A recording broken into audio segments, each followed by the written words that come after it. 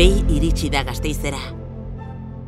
Garraio elektriko berritzaile honen amairu ibilgailu berriek tubisaren bigarren linean emango dute zerbitzua. Teknologiarik aurreratuenak bidaia erraztuko die erabiltzaileei.